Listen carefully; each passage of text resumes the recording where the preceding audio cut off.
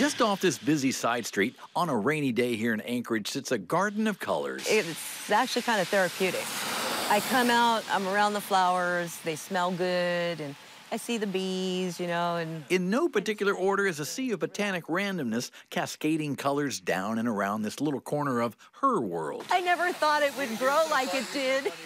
This is Bernita Boys, who takes time almost every day to appreciate and admire her 48 months of handiwork. You see, this wasn't always this, it was. the whole hill was covered with dandelions and grass. And Bernita says, well, I got tired of looking at it. and she made a deal with herself. So I said, okay, well, every time I pull a weed, I'm going to plant a flower.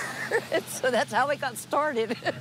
It was a bit addictive. Because once I got started, it was like, well, now I can't stop. And eventually it became a happy habit. When I first started this, I could get on the hill, and by the end of the day, I was pretty sure I was going to die. And it's sneaky steep up here. There's places on the hill where you can't even stand. It was a slippery slope at first. There have been times that I've slid down the hill thinking I was going to end up in the middle of the street.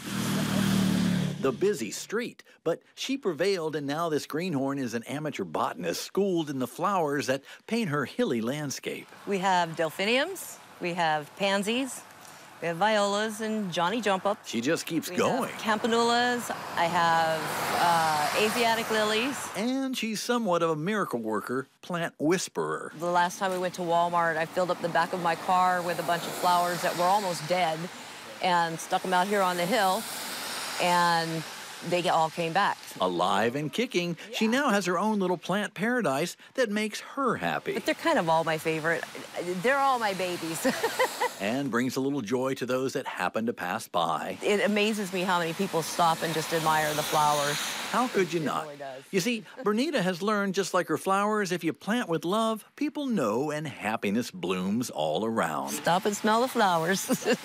I'm Dave Allgood, and that's and so they enjoy it, and it makes me enjoy it because somebody else is also enjoying it. the All Good News.